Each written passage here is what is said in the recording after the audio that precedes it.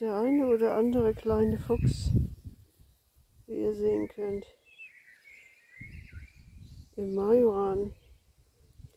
Später, wenn der Thymian blüht, sind sie auch im Thymian massenweise. Alles kleine Füchse.